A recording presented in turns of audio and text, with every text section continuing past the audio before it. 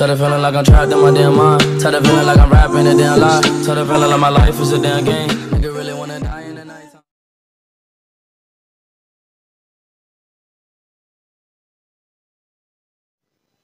What's up, Brown Sugar Gang? Here we go. I have four beef short ribs that are very meaty.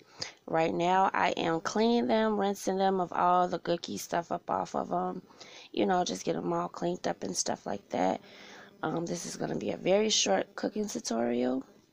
Make sure you guys like, subscribe, share, and hit that bell twice. Okay, so they're all cleaned up. Put them in a pan. I have a red bell pepper that I'm going to cut in half and one small onion that I'm going to cut up too. Um, and I have, these are the seasonings that I'm going to use. Adobo, which is all-purpose seasoning. Um, accent seasoning that brings out the flavor. Um, salt-free steak seasoning, Mrs. Dash is also good for beef um, black pepper, uh, what else? And rosemary gives it a very good flavor. Um, and I also have some brown gravy. Yeah, McCormick. Very good flavor. So I'm going to chop this up and bring you guys back. So, all right, it's all chopped up. I cut my onions in little circle pieces, as you see. Little strips of, you know, bell peppers. Nothing too fancy. I'm going to actually chop them in half again if I can get my I'm using one hand y'all so work with me I'm trying to cut them in half to make it a little bit more okay there we go I think I got it alright so now we're gonna get to season it adobo first very light you guys. Don't be too heavy. You don't want it too salty. Very light. Next we're going to use some accent seasoning. Very light once again. And then we're going to hit it with some Mrs. Dash steak seasoning salt free on each and every last one of them this is just what I use you know like I said before you can use what you want now we're going to use some black pepper very lightly not too much there we go. And now uh, the rosemary. Very easy on the rosemary because it's very strong, but it gives it a good flavor. And then once you add that, you want to pack it into the meat. You want to rub it into the meat so that all that good seasoning can get down up in there. And, you know, the flavor can marinate in the meat. Yes, look at that. Mm-hmm. Smooth it all in there and then we're going to flip it on the other side just like so and then we're going to season with the same seasonings on this other side so I'll bring gas back okay so now I'm gonna wash my hands because I have all that seasoning and stuff on my hands so I'm gonna wash my hands up really quick you guys really really quick really, really quick. Okay. Hands all clean. And now, you see how that looks, y'all? Now we're to add the onions onto the beef short ribs. It doesn't matter how you put them in there, just throw them in there. And I tend to like add the onions and peppers up under the meat because I don't want them to burn. I want to taste the onions when they're done and the bell peppers when they're done. So I leave a few on top and I also add some at the bottom. That looks so pretty. So hold on. That's how it looks.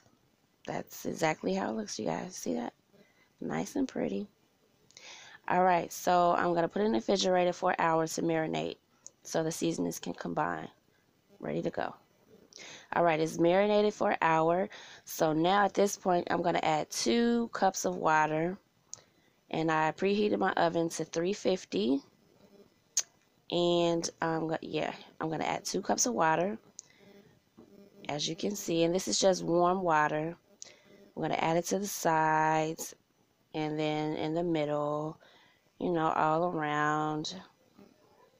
And add another this is very simple, you guys. Very simple recipe to follow. And it came out very tender and delectable, which you'll see.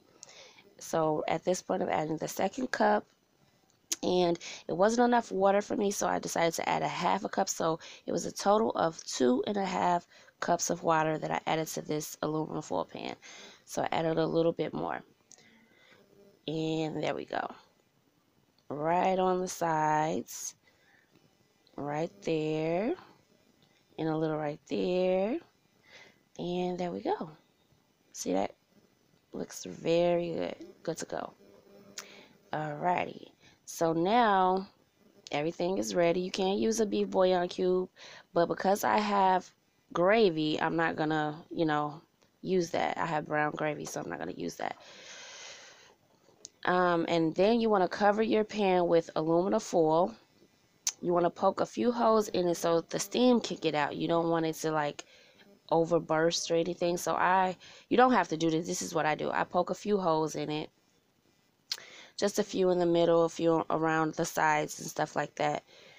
And um, just to let the steam come out. And I don't know if you guys can see that, but there are holes all around, like little tiny little pick holes all around the aluminum foil. The oven is ready. It's set. So now it's in the oven. I'm going to cook it for about two and a half to three hours till tender. And we're going to see how it comes out.